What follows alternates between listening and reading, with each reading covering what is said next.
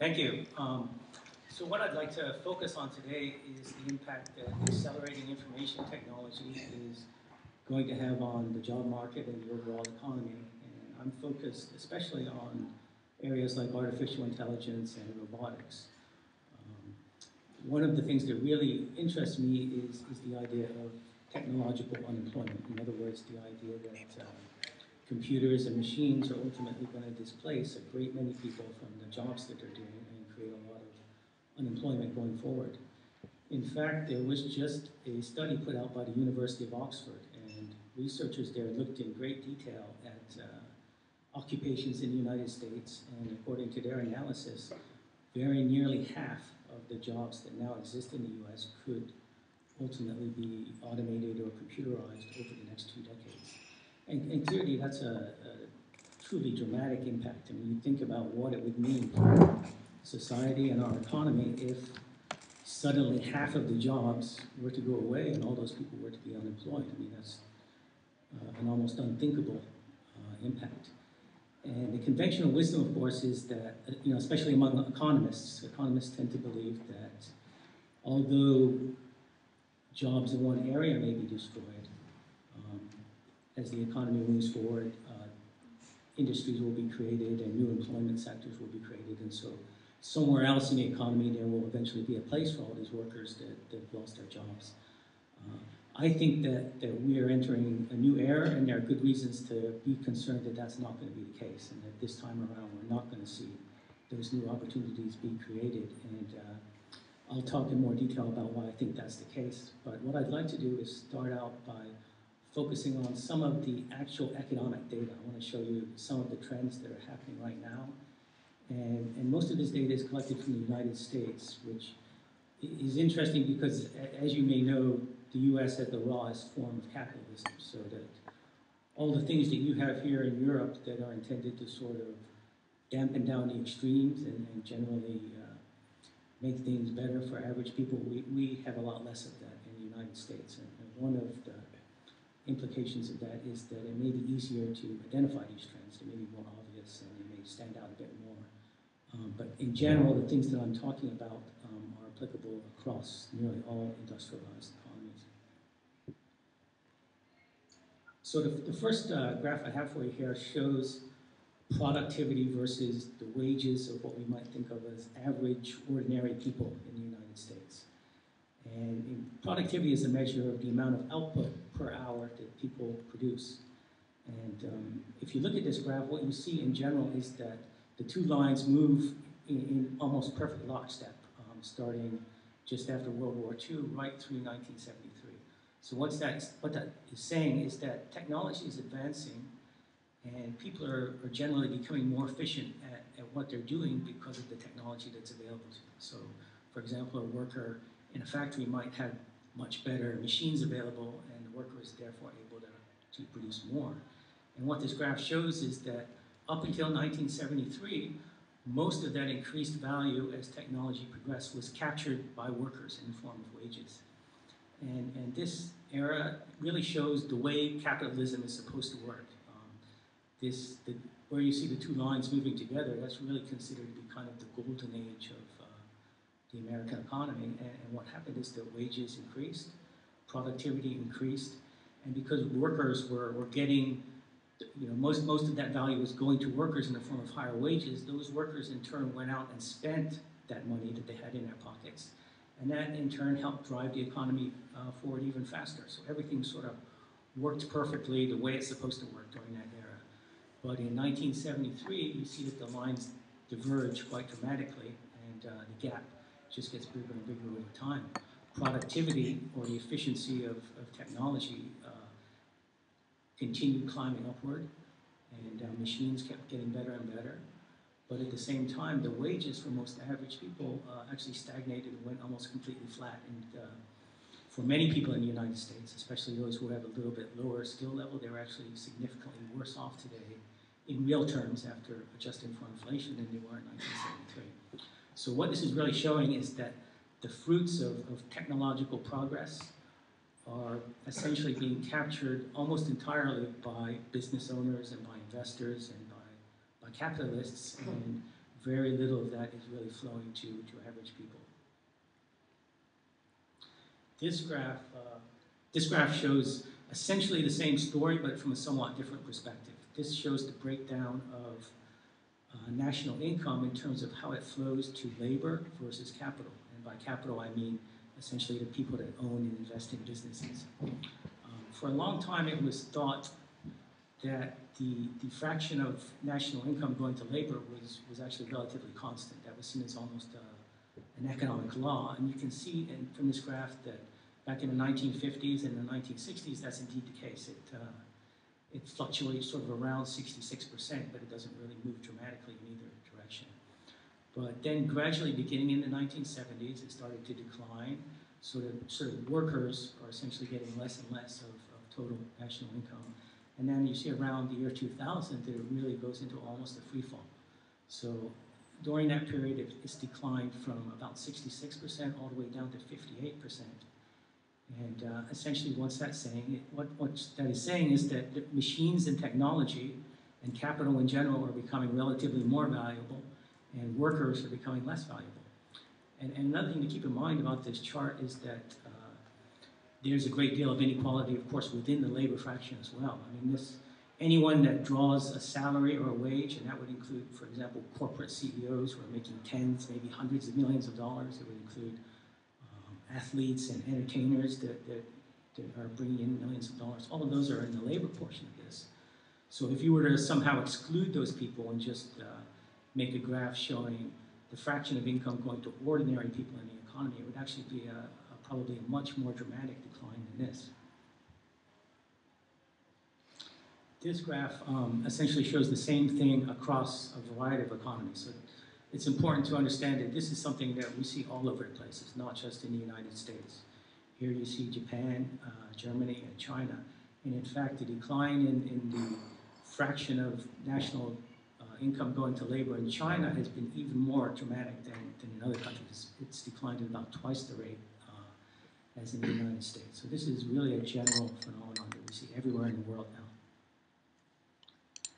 This graph here shows the labor force participation rate in the United States. And essentially what that means is the percentage of people between the ages of 18 and 65 who are either actively working or they're actually out there looking for a job if they don't have one. Uh, and you can see that this climbed pretty steeply from around 1960 to uh, 2000, and that, that reflects the entry of women into the workforce. You have a lot more women who decided that they were going to work.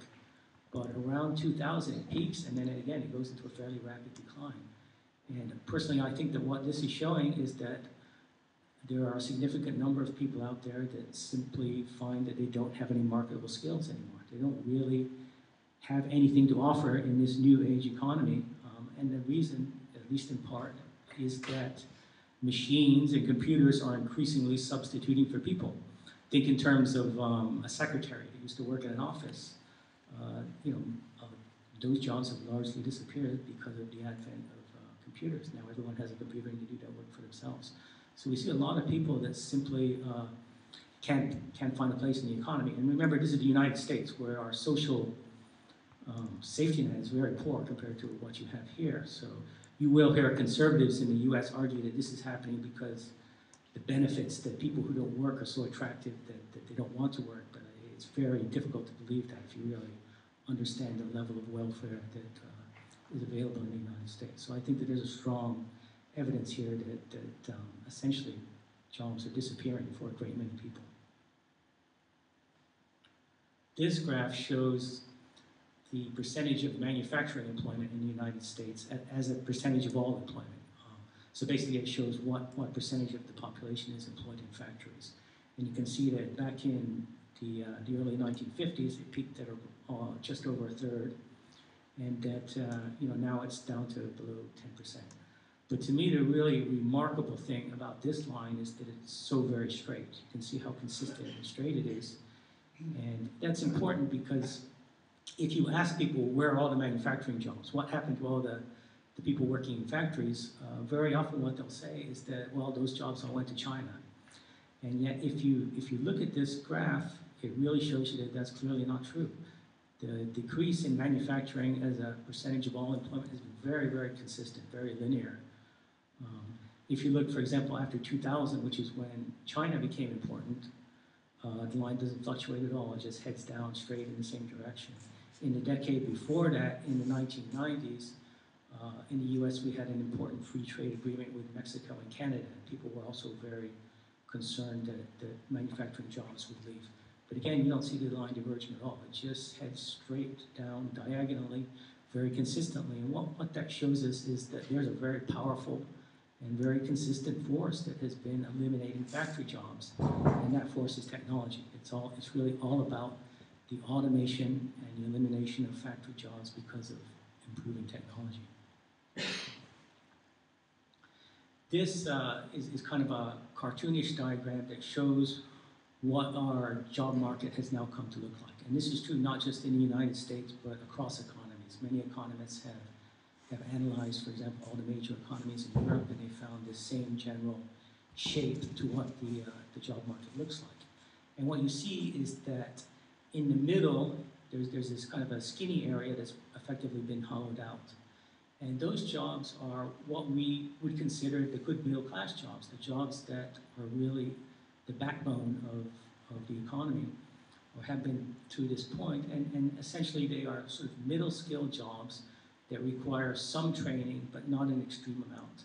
And they're the kind of jobs where you would typically come to work and do relatively routine things, um, and you would get paid a very decent middle class wage for that. These are, are the jobs that um, really created the middle class and, and, and turned um, the major industrialized economies into, into vibrant consumer economies.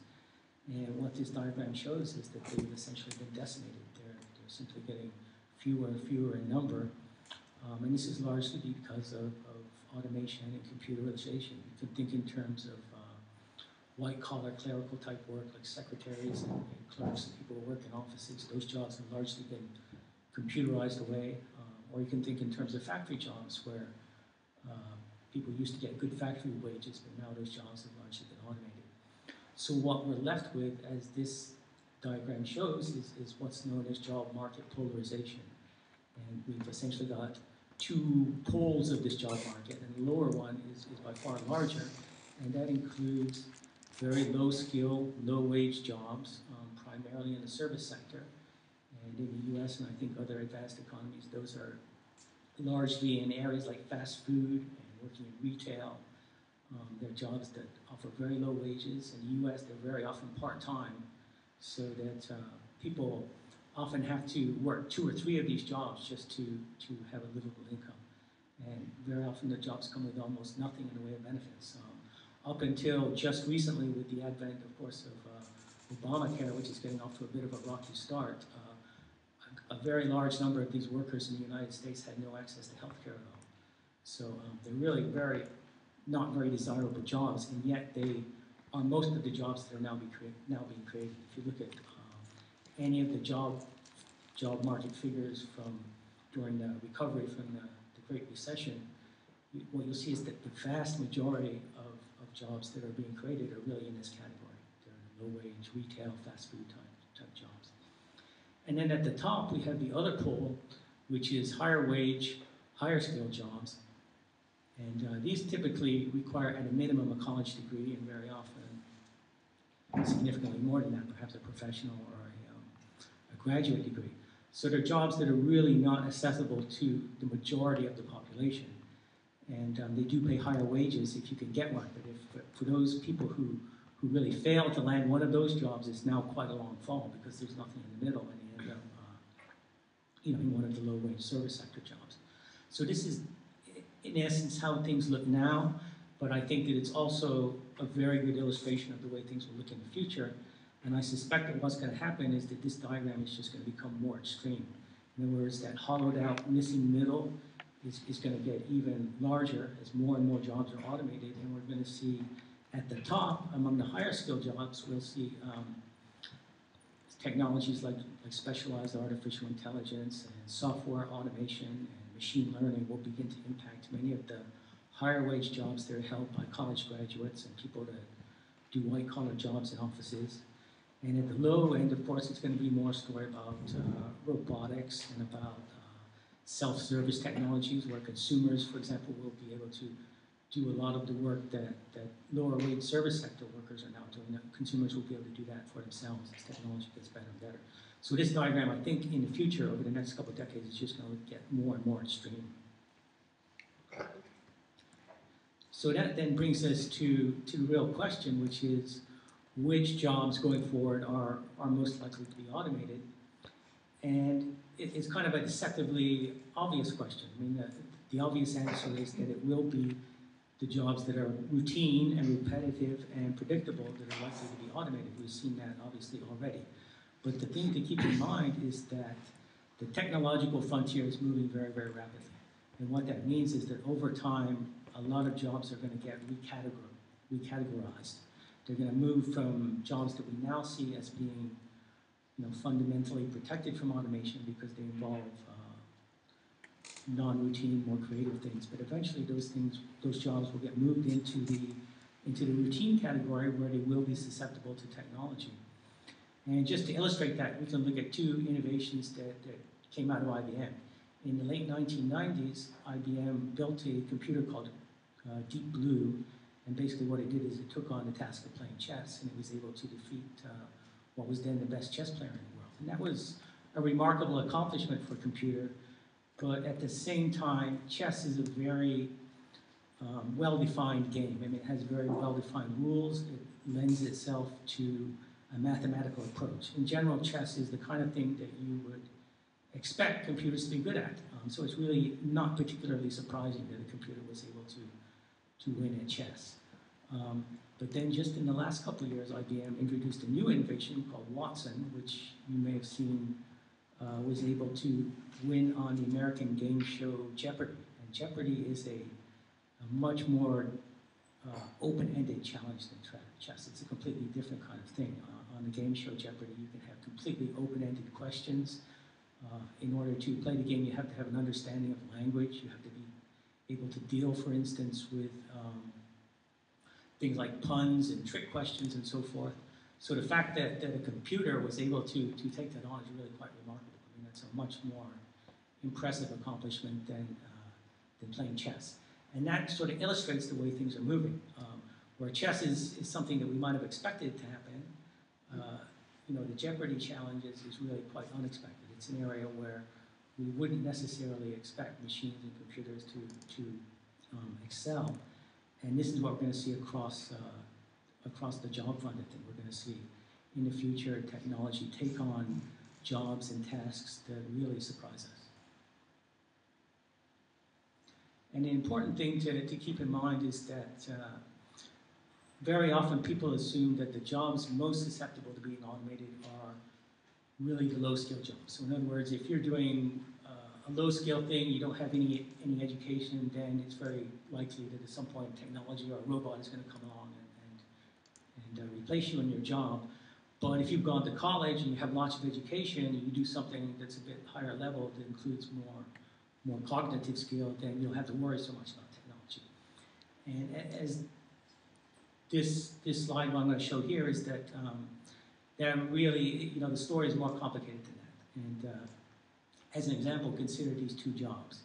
Uh, a radiologist is a medical doctor that focuses on interpreting and reading medical images, like for instance, uh, x-rays and uh, CAT scans and things like that.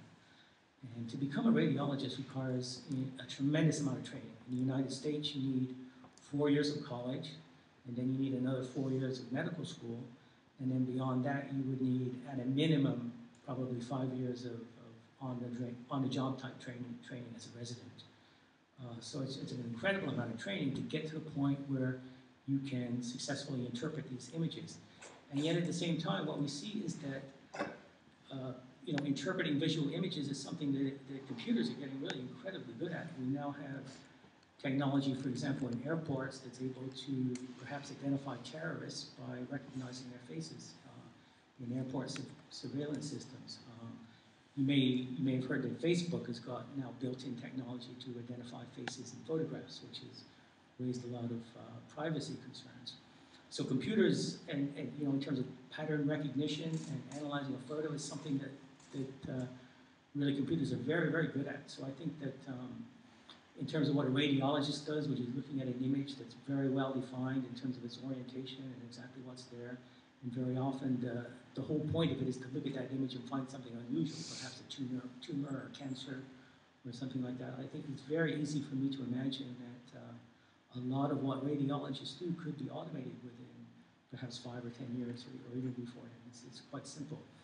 But contrast that, for example, with the job of a housekeeper or maid, um, a person that's just employed to basically clean a house. Uh, obviously, that doesn't require any formal training at all, and yet from a technical standpoint, that job is, is really much more difficult to automate than the radiologist's job.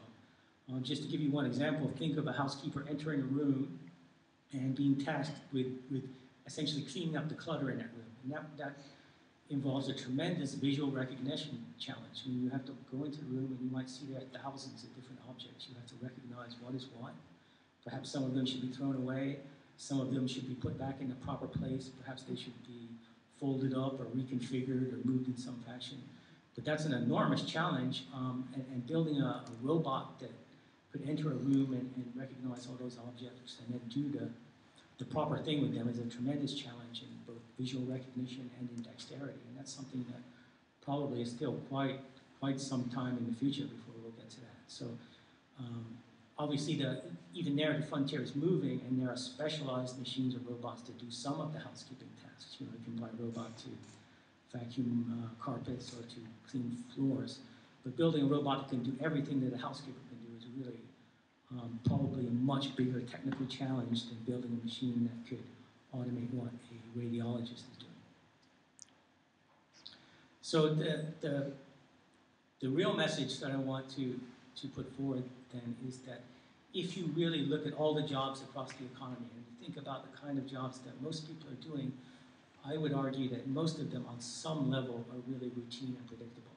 And what I mean by that is not that people are coming in and doing rote repetitive things where they're doing exactly the same thing over and over, but rather that their job or their task can be broken down into, into specific blocks of things that are predictable and that tend to get repeated over some time frame. So you might have some people doing similar things every day, other people doing similar things every month. But in general, what we all do in our jobs tend to get repeated on some level, and you know, they tend to be things that are predictable based on what we've done in the past. And uh, throughout our economy, there's now an enormous amount of data being collected, especially by large organizations. You can imagine that um, in large companies especially, every transaction obviously is recorded, every interaction with customers, every customer support instance, every customer service call, all those things um, together with the ultimate outcome, gets recorded somewhere. And um, so there's an enormous amount of all this data out there that is really um, sort of waiting for an algorithm someday to come through and sort of churn through it and look at all the relationships and, and kind of figure out what's going on. That's the essence of what machine learning is. Machine learning involves having an algorithm looking at enormous amounts of data and finding correlations and essentially understanding, you know, if these things are happening, then this will also happen. And, and in the future, we're going to see that kind of technology be used to automate a great many jobs, and it will happen both at the top in terms of people that are doing more, more cognitive type jobs, you know, sitting in front of computers, and also at the, the lower skill jobs in terms of um, robots. So that's going to be the primary thing that, that drives, drives all of this going forward.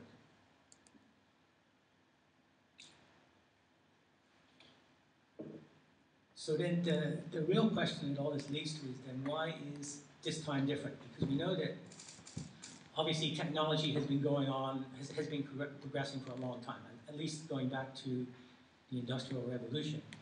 And the whole issue of technological unemployment or machines putting people out of work has been raised many times. Uh, most famously about 200 years ago during the Luddite revolt in, in, England.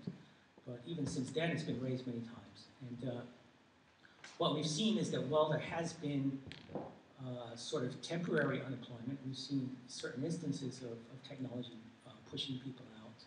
Over the long run, the economy has always adapted. Um, we've never seen permanent long-term employment. People have always found a new place as, as things have adjusted. Um, and of course, the most famous example of that is uh, probably the, the mechanization of agriculture. There used to be millions and millions of people working essentially in the fields, and then tractors came along and specialized agricultural equipment came along, and uh, you know millions of those jobs were lost.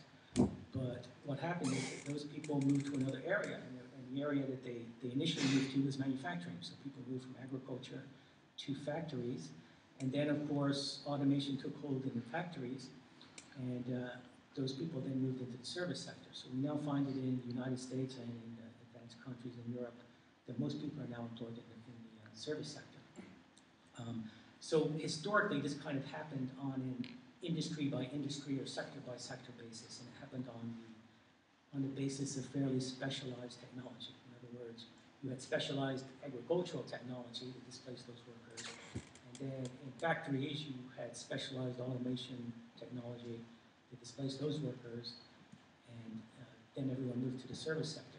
But what we see right now is really quite different. Uh, information technology is a true general purpose technology. It's a little bit like electricity in the sense that it's everywhere. So it's now um, sort of invading every industry, every employer, every part of the economy. There isn't any industry that's going to get a pass on information technology. It's going to sort of impact everywhere all at once, and it's going to make, uh, I think, the whole economy less labor intensive. Um, so the, the real question, or the real issue that, that is important now is not so much where you worked. Um, I think the, the idea of looking at particular industries and whether the jobs that are lost in one industry will be recovered when a new industry comes up in the future is, is really outdated. That's not the way things are going to work anymore. What's important now is the nature of the job. Are you doing something that is on some level fundamentally routine and predictable? And if the answer to that is yes, then ultimately there will probably be a technology, whether it's artificial intelligence or, or uh, robotics, that is going to threaten your job. Uh, the most protected jobs, the ones that are going to stick along for the longest, are going to be the ones that are genuinely non-routine, really essentially creative. If you've got a job where you get paid to think blue sky thoughts and do really creative things, then you may you'll be okay for much longer than the person that's doing a more routine thing. But that's really a relatively small number of jobs. There's simply throughout the whole economy aren't that many people that are paid to sit and think. Most people are getting paid to do fairly routine things. So one of the, the assumptions that I think most economists make is that while we may see you know, jobs today uh, eliminated, um, the industries of the future will sort of pick up the slack. And we know that there will be certainly, as we, as we have this ongoing process called creative destruction, even though older industries may disappear and employment sectors may disappear, there definitely will be new industries created in the future.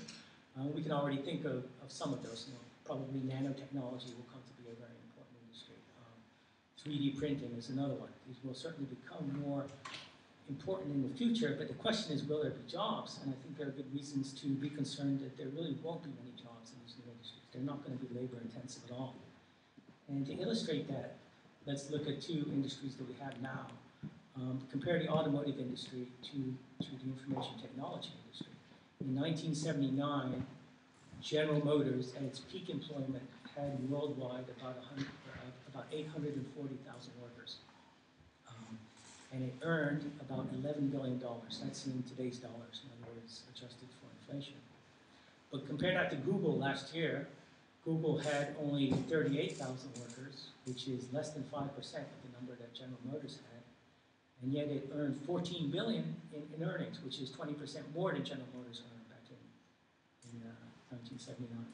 So you can see th the dramatic difference there. Google has become this tremendously powerful and influential company, and yet it employ, employs such a, a small number of people. And I think that there's really an abundance of evidence to suggest that the industries of the future, whatever they may be, are going to look a lot more like Google than, than like General Motors. They're all going to incorporate very, very powerful information technology right from the get-go, and they simply are not going to have a need to hire many. Um, and at the same time, the more traditional industries, like the automotive industry, uh, the industries that are today still fairly labor-intensive, and that would be areas like retail, uh, fast food, you know, general food preparation, hotels and accommodations, those industries are going to also be disrupted by information technology. And so they're also, over time, going to be um, transitioning to look more and more like Google. So the future is really a lot of industries that, that really look more like Google in terms of the number of people that, people that they hire. And that's sort of the, the basis of why I really think we're going to run into a technological unemployment problem going forward. So what, the way I like to think about this, obviously all this is, is being driven by an acceleration in information technology um, that goes back at least uh, until the, the years following World War II. And the most famous or well-known aspect of that acceleration is of course Moore's law, which basically says that every two years computers get twice as fast. And that's been going on for decades now. Um, but the way I like to, to think about this is in terms of a, a, a bank account. I like to think in terms of depositing a penny, a single penny, in a bank account back in the late 1940s, which was the time when the first real digital uh, computers appeared. If you deposited a, a, penny then and you double it every two years, according to, uh, to Moore's law, today you would have over $4 billion in your bank account. And obviously that began very gradual. It started out with one penny and then it became two pennies, then four, and then eight cents. So it happened very, very gradually. Initially there was very little progress, but it's the nature of that kind of acceleration or exponential progress that over time it becomes much more dramatic. So today we're at $4 billion, and the point is that moving forward, we're going to leverage that enormous account balance. So, you know, two years from now, instead of 4 billion, we're going to have almost 9 billion. And then two years beyond that, we're going to have, uh, you know, over 18 billion. So it's, it's an incredible amount of absolute progress that we see and that progress is primarily being driven by the fact that that account balance is now so large. So it's, you know, that, that's the nature of an exponential trend is that once the account balance becomes large, that becomes the primary driver of, of, of progress. And so that's why things are going to move so rapidly.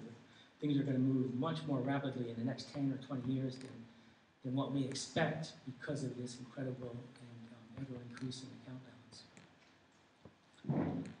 And so what uh, I think that really brings us to next is really kind of a moral question. And, and the point here is that we've had this enormous amount of progress, but it has been driven really by the accumulated um, efforts of, of, generations of people. So, uh, you know, you've had countless of people over generations working on this issue, um, going back at least to, to World War II, and uh, and arguably even going back to the Renaissance. Um, you know, everything that every everyone does, every innovation, essentially stands on the shoulders of those who have come before. Uh, so, for example, you, you can, if you go back to the beginnings of information technology, um, you can think in terms of Alan Turing and people like that, for instance, who made really the major, major contributions right in the beginning, and obviously uh, people like that did not become billionaires. And the reason was that their, their contributions were incredibly important, but they came right at the beginning of this process when our technological account balance was, was measured in pennies. Um, today, after lots of innovation, we've got a, an account balance measured in billions, and that, you know, that's been an ongoing process that has involved lots and lots of people. It's, an also, it's also a process that uh, has been funded by taxpayers to a large extent. For example, in the United States, you look at um, the agency DARPA, which is part of the Defense Department, was the agency that, that created the, um, the computer network that eventually became the internet. The internet. Um, DARPA also also financed uh, research that went into Siri, which is the, the personal assistant that runs on iPhones. And um, over the decades, there was a tremendous amount of government support to research in universities, um, into the, uh, the basics of semiconductor research and so forth. So um, there, there was obviously a lot of, of taxpayer support for all of the technologies that have resulted in this, uh, this acceleration over decades. And clearly, if you, if you went back and you asked the, middle class taxpayers who back in the 1950s, the 1960s, and the 1970s, you know, if you asked them why did you support this, why did you, why did you support the government uh, doing all this research, they would have almost certainly said, we did it because we thought our lives would be better and, and the lives of our children and our grandchildren would be better. Um, they certainly didn't do it with the expectation that the, uh, the middle class was, you know, essentially going to disappear. Um, and yet that's one of the implications that, that we're seeing here. Um, and so what, what it comes down to is that, you know, we need to ask the question, who really owns or has a, has a claim on this enormous technological account balance that we now have? Um, because the way things work right now is that the innovators of today are able to, to sort of come on the scene and they do very important things. They, they come up with brilliant ideas and they create companies perhaps like Google, perhaps like Facebook, perhaps like uh, Amazon that become enormously successful and they become, of course, tremendously wealthy. They become billionaires um, and they have enormous influence. And yet what they're doing is really, again, it's primarily leveraging that technological account balance. Um, their innovations are important, but fundamentally they're also kind of incremental. Um, and the fantastic success that a small number of people are realizing is largely become is largely because of that accumulated balance. And and as I'm, I'm sort of suggesting here, one of the other implications of all this technology is that opportunities for average people, ordinary people in the economy, kind of, people that go to uh, work and you know work an average job, uh, opportunities are really kind of evaporating for those people, and their their likelihood of having um, a good future and a good livelihood is really kind of evaporating.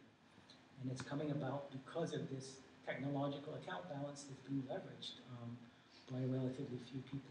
So we really, I think, need to rethink who owns that collective innovation, the collective um, account balance or accumulated technological innovation over the, over the course of decades. And I think you can make a pretty good argument that society as a whole should have some, some ownership of that. And then this leads us to what is really, um, I think, the central economic issue that we're going to have to face, which is that uh, eventually we're going to run out of consumers. We're going to run out of people that have sufficient discretionary income to really go out and buy the things that are being produced 5G economy. And the reason, of course, is that the vast majority of people rely on a job for their, for their income, and, and without that job, they can't spend.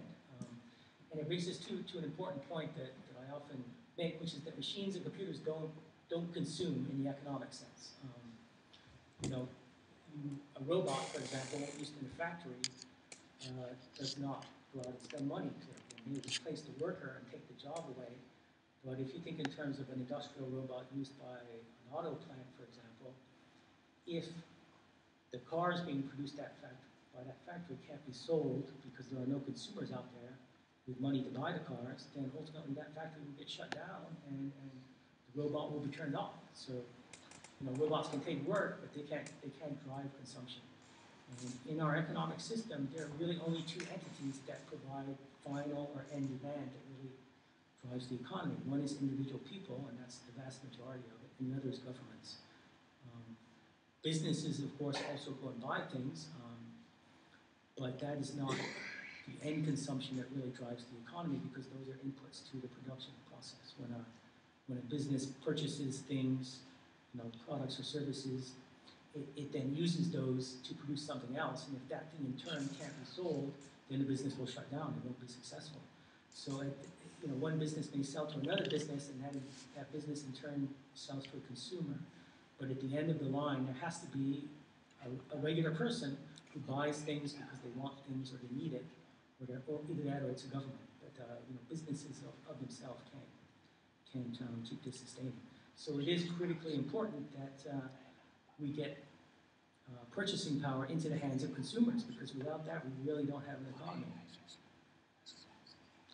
Uh, another question I'm often asked as a, as a result of this is well, we may have lots of automation and we may have job losses and we may have very low wages because of technology, but still, won't things be okay because everything is going to be really cheap? You know, the, the computers and the robots and, and everything will be able to make things really cheaply. So even though your, your wage is low or you're, unemployed, you- you'll still be able to get things inexpensively. And that's true to some extent, but the thing to really keep in mind is that our prosperity in developed countries has really been an inflationary story.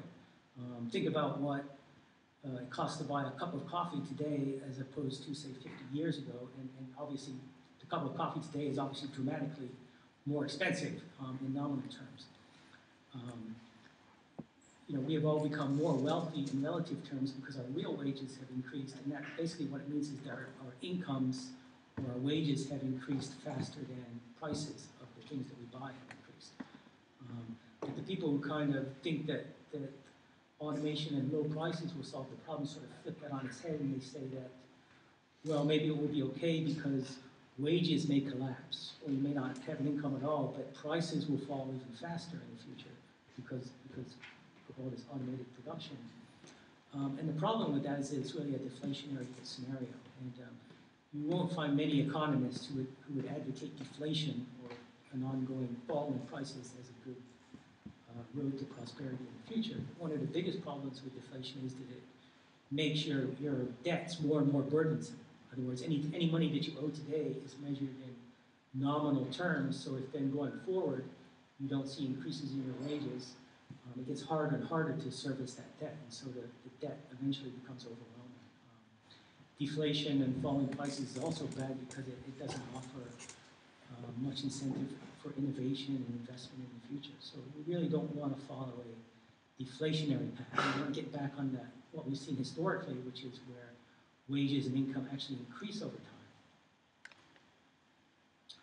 Uh, this is a graph that, that is taken from my, my book, The Lights in the Tunnel, and what it is really intended to illustrate is the, the sort of path that the wage or the value of a worker is going to follow over time.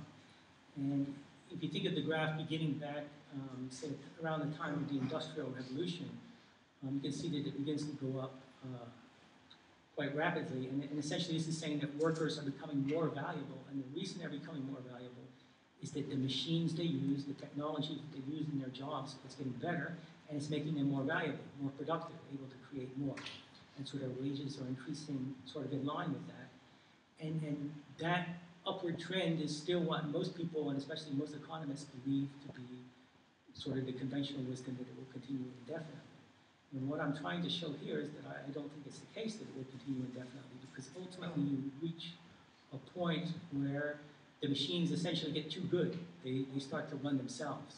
And once that happens, then the value of the worker begins to sort of flatten out because the, the worker isn't really needed anymore, at least not so much. And it sort of flattens out and then it eventually goes into decline.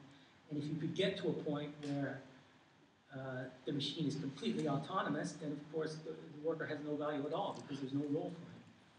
And so th that's what this is reflecting. And remember, this is a graph that's intended to show what's going on with the average worker. In other words, for on average, all workers. And so as, the, as this develops and as it applies to more and more people in, in our economy, you know, our, our overall economy will also begin to look like this because as, as the earnings of people overall goes into stagnation and then decline, they don't have any purchasing power to go out and continue driving the economy. And so this is sort of a, a scenario showing that, that we may have very limited growth as a result of advancing technology. So the question then becomes, what can we do about all this? What, what kind of solutions might we propose? And uh, one of the things that I focused on here, obviously, is that higher skilled jobs are also very susceptible to automation. In fact, if you're working in front of a computer, just doing cognitive type things, uh, in some ways your, your job may actually be easier to automate because it requires really only software. It doesn't require expensive robots and things. So what that says is that the very conventional solution that we're always offered, which is that give people more training, give them more education, so that they can do a higher level job, that, that simply may not work because those jobs are also going to be uh, quite likely to be automated. So I think we need to do something different, and um, what I have proposed is that eventually we're going to have to move toward a guaranteed income model, where everyone is, a, is, is guaranteed at least some livable income in, in our society and you may have heard, for example, that uh, that came up recently in Switzerland, where they're actually talking about that. Uh, although in most other countries, and certainly in the U.S., it's, it's fairly unthinkable. Um, but I, I, do think that ultimately that's the direction that we probably will have to go if we want capitalism to continue to be functional, in the sense that if we want people to continue to have the incomes that they need in order to go out and and buy things and keep the economy going. But the other thing that I have also advocated is that rather than simply giving everyone a guaranteed income, we ought to build some basic incentives into that. Because if you look at real jobs today and, and the kind of jobs that people do, there are important incentives built into that that really um, are important. And uh, most notable is the incentive to go and get, get educated. Uh, a lot of people today pursue education because they believe that will lead to a better job. If in the future that's going to become perhaps less true because there are simply less jobs out there, I think that uh, it makes a lot of sense to build that incentive into our income scheme so that we can preserve that because it is very important that we have an educated society, obviously. And if you put yourself, for example, in the place of a, um, a secondary student that's perhaps struggling and, and perhaps might not graduate, if that person knows that they're ultimately going to get a guaranteed income whether they finish their schooling or not, um, clearly there, there's a powerful disincentive to really buckle down and work hard and, and, and get educated. And we, definitely do want people to become educated. So I think we can build some, some basic incentives into our guaranteed income scheme for education and perhaps for other things like working in the community or, or perhaps doing things that are advantageous to the, uh, to the environment as well. And finally, the, the last point that I want to make is that um, all of this is not going to unfold in, isolate, in, in isolation. Um, obviously, there are some other tremendous challenges that our society has, um, particularly in, in areas like climate change and the environment.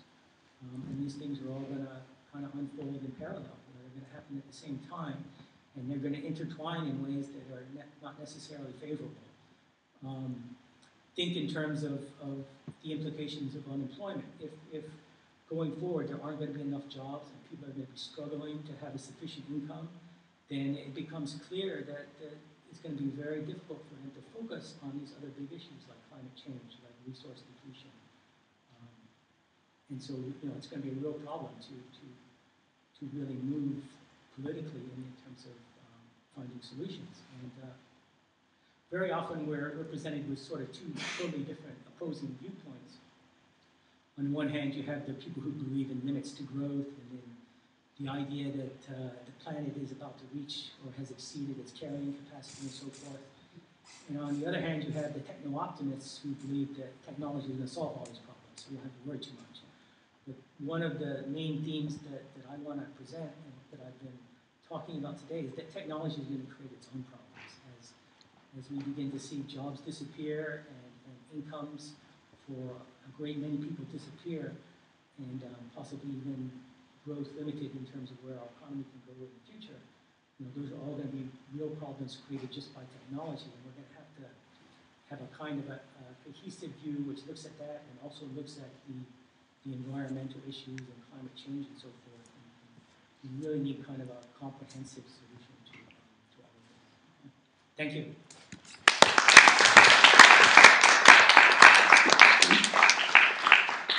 Thank you, Martin, for this, well, kind of nightmarish. Please, um, please stay here. Stay here, Martin. I want to ask some questions. Um, thanks for this, uh, well, nightmarish prediction of the future. Um, we're talking about the possible solutions to this problem, um, but I missed revolution. The Luddites you were talking about, they started a revolution. One of your predecessors, called Karl Marx, he said that the only way to solve this problem is, is revolution. What do you think about that? You know, in, in general, I, I still believe in capitalism, and I believe um, kind of what Winston Churchill said about democracy, which is that, you know, capitalism is awful, but it's probably better than the alternatives. Um, the, main problem I have with, with socialism and with any kind of revolution that entirely gets away or, or does away with capitalism is that I, I, I, do believe in the importance of incentives. It is important to give people and also investors and, and everyone else in the economy the, the proper incentives to, to go out and do things which are um, really, you know, that will benefit everyone. Um, and the problem with socialism is that you have this idea that uh, people should contribute what they're capable of Uh, and then at the same time, you should get out of the system whatever you need, and that sounds great. And I think it, it's, as a philosophy, it's, it's a good idea. But without the appropriate incentives, it's really hard to see how that's going to happen. You know, just because of the the um, the psychology of people and the way people behave. But isn't your talk? Uh, when I hear you, your, your talk, I think no, capitalism is a wrong philosophy, and it worked. It, it, it, it didn't work. Well, you know what? It worked. It worked for a while, um, and, it, and it, I don't. You can't argue that our our society today is a lot more prosperous than um, than it was in the past. I mean, if you look, you go back hundred years, for example, and compare the living standards then to the living standards today, there's no question that at least in developed countries we're dramatically better off. I mean, I don't think anyone here would want to trade places with someone who lived hundred years ago and give up all of the modern um, conveniences that makes make our lives better. And and the fact is that that's really all come about because of technology. And and and uh, capitalism has, I think, done a good job of creating the appropriate incentives to help move technology forward. We wouldn't want to get rid of the system that has allowed that progress. Uh, so my argument is not to destroy capitalism or get get away or you know replace it entirely, but rather to modify it. I believe that we are moving into a new age, and we need to adapt it for that new age. It's not going to work as well anymore, but you know I think it can be fixed. I don't think we have to completely throw it out the window. And if we were to do that, it's really not clear what else is out there as, as a solution. When you propose a basic income for everybody, that's kind of a socialistic capitalism. That, that's an interesting point, and, and it's, it's, um, what, it's the reaction that a lot of people have, but if you look at economic history, the people that uh, have proposed a basic uh, or guaranteed income were actually not socialists, they were very conservative. Actually, um, Friedrich Hayek, who wrote the, the famous book, The Road to Serfdom, was very, very strongly opposed to the whole idea of socialism, uh, supporting the basic income. So it, it's a little bit different. Uh, socialism, socialism is more really the, the collective or, or the, the government taking over the entire economy and owning all the industries and the means of productions and um, trying to plan the economy and uh, and rather than having a market economy, we've got some some agency or some group of people that tries to plan all of. And uh, you know that's been shown pretty clearly not to work. It was shown in the Soviet Union and in, other communist areas. So uh, a basic income is really not a socialist idea at all. It's it's it's really um, a capitalist idea, and it's the idea that you give people a sufficient income so that they can then go out and participate in the market. They can spend their money, and um, as they spend their money, the market, in other words, the market pricing mechanism, will very efficiently make things, you know, allocate things throughout the economy. You work in Silicon Valley, or you used to work in Silicon Valley? Yes. Yeah. How do your colleagues or former colleagues react to your story? Um, you know, they- they're, they're coming around. Um, uh, Silicon Valley, there are a lot of libertarians. There, there are people that really don't want to be taxed at all, and they believe very strongly in, in the idea that everyone should have the fruits of their own labor, and that you, shouldn't have any kind of, um, uh, you know, you shouldn't have the government coming in and, and reallocating uh, or redistributing wealth and so forth. Uh, And the problem with that, of course, is, is that it's very elitist. Of course, Silicon Valley is populated with people that have edu- education from MIT and from, from all these uh, elite universities, and they're very technically skilled. And they happen to be doing very well in this new economy, but they don't really see so much all the average people out there that, that you know come to work and do routine jobs and are perhaps not doing quite so well. Uh, but I think they are coming around, and uh, I, I see more people open to this idea of, a, of perhaps a guaranteed uh, income. Uh, you're never going to get them to buy into socialism. They, you know, it's just total uh, opposite from their thinking. But I do think that eventually they'll, especially because of the point that I make, that if we don't give people an income, they aren't going to consumers. Um, even if you work in, in Silicon Valley and you've got a lot of technical skills, ultimately, whatever it is you do, you've got to sell to someone. Um, you know, whatever you produce, you've got to be sold to someone. And if we don't have people that are able to buy uh, a new iPhone or a new Android tablet or whatever, then uh, you know even the, even highly skilled people are, are going to find that uh, their labor doesn't have as much value. Thank you. Are there any questions? Yes. Uh, Martin, I was wondering about the incentives, uh, because your own example, uh, you write a book in your free time, uh, suggests that people do want to work, even though they have uh, a fixed income.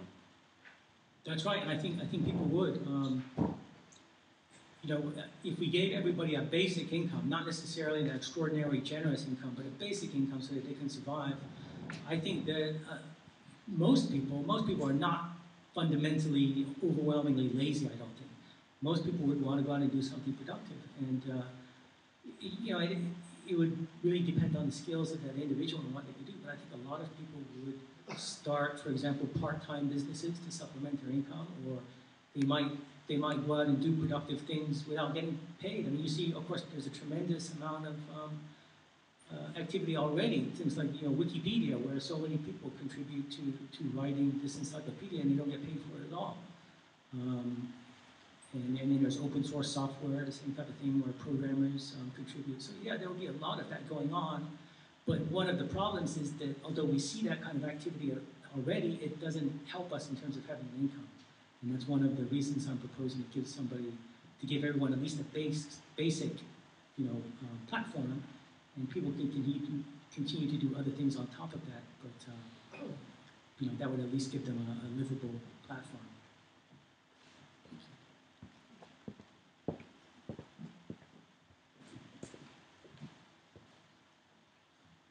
Yeah, um, great talk. I was wondering if you, what your take is on the political viability for these kinds of ideas, because I know in 2012 the uh, Democratic uh, Convention, Bill Clinton gave a huge speech about uh, the economy, and he, he referenced, uh, he said, yeah, it's sort of it's math, uh, the viability for uh, the economy basically needs minimum wage, minimum wage rate. So I think the ideas are there, but could you comment a little bit on the American system and how that might incorporate these ideas? Yeah, um, you know, in the United States, this is really kind of unthinkable at this point. I would have to say. I mean, I, I, I talk about it, I hope people will listen to it, um, but I'm certainly not optimistic about it happening in the United States. Um, one of the unfortunate things we see is that when people come under economic stress and they worry more about the future and, and their own incomes and so forth, there is a tendency for them to become more conservative and they become very fearful. And uh, uh, sort of the poster child for that is the Tea Party in the United States, where you've got these people that I think are just terrified of the future and of the way the country is changing.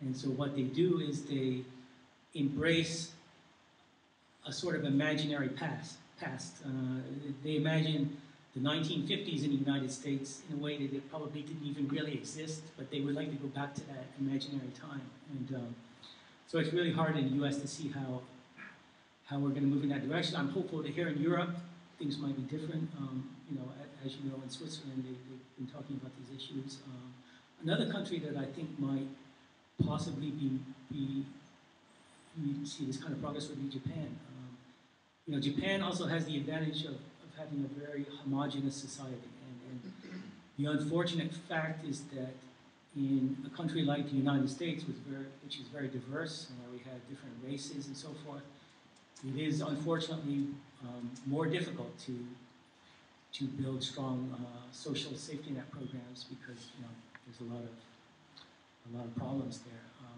so I, my guess is that we're going to see progress on these issues in other areas, not in the U.S. and um, perhaps we will then follow along, just as we've done on healthcare. You know, you may have heard that Obamacare is coming online with, with lots of problems, but still it's a tremendous uh, accomplishment for us to, to get what you all have had um, for you know, decades.